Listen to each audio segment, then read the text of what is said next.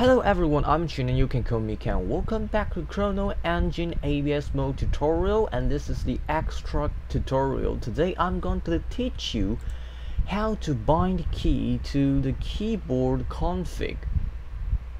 So let's just install it and first let's just take a look at the parameters over here. So this is the parameters over here. Now of course you can't use the key inside the ABS mode. I mean the A key for the item, the S key for the skill, and the D key for the defense. And to use it, it was quite simple. Well, the fattest way to do this is just through the script. And I use Sublime to open this. Also, you don't need the Sublime. TXT could just do all the things. So first, inside Sublime text you'll need to do something. The first things you'll need to do is to create a parameter. So let's just put it at okay at somewhere inside this parameter. And to help you do this I've make a list the whole process you need to do and you can find this txt file just below this clip. And so first you'll need to do is add the parameter and then just copy paste these scenes inside. So just control C and control V just paste them inside here. Then you got the parameter and the second step it was to define the parameter. So first let's just find where it is. To find it let's just copy this one and then search it. Then you can see just at over here you can define the parameters. Then use the copy paste just copy them all copy it and paste it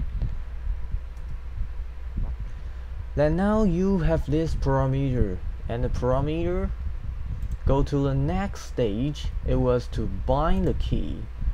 So it was all just search copy paste search and copy paste. It's just this simple. As here it was the key mapper and you'll need to define which key you want to use. So let's just copy it and paste it inside here. And 68 is the D key.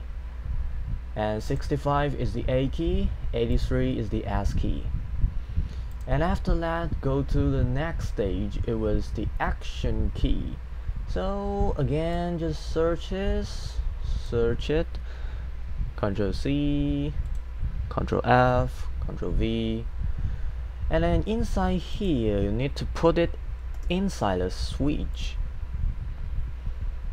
So just put it inside a switch and then copy paste the scripts over here. Copy paste it.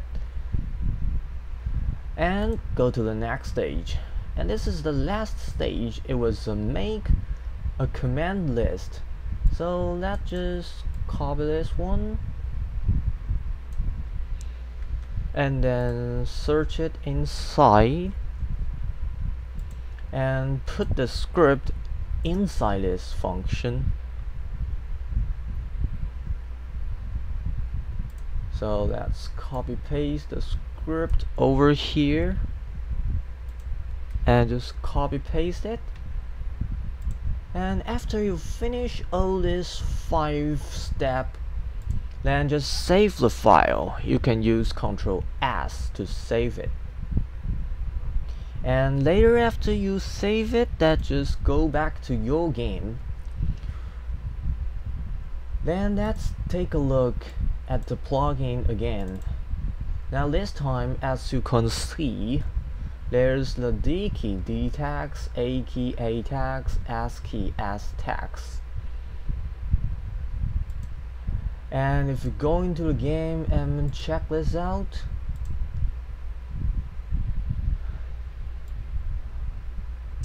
And to help you understand what key I'm using now so let's just use this. Now if I just simply hit the A key. Oh sorry. Because I'm not inside the game so first if you hit the A key of course you can use the item because this is the default setting. And so that's just going to your menu the options and now you got a keyboard config. And going to the keyboard config now you can see the A key is just called the item. And if you don't like the A key then let's just clear the A key and find somewhere um, maybe okay T key. So let's just change the T key to this item key. And now let's go back and take a look. So now if I hit the A key nothing would happen. And if you just simply use the T key and you can use the item. And if you want to change it then just go to your keyboard config and just change the item. And of course you can change the shield. Okay maybe maybe a K key. So make the K key to the shield. And let's go back and okay now I'm being damaged. And if you hit the D key of course you can use it because this is the default one. And if you hit it yeah, which key? Oh I just forgot which key so what is the key I just find it oh what's the K key so if you just hit the K key of course you can now use the shield and you may ask, so where is the skill menu and the item menu? Well, actually, the skill menu and the item menu, they are just page up and page down. So if you just change someone, maybe I key to the page up. So let's find the page up.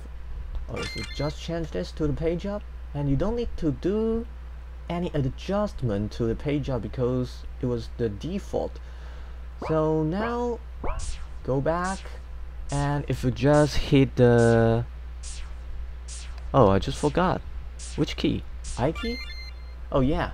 So if you hit the I key now you can open this menu the item menu. So it's just this simple just copy paste copy paste and you can bind the key to your keyboard config and this is the end of this tutorial. If you like it, please thumbs up or subscribe. Thank you very much.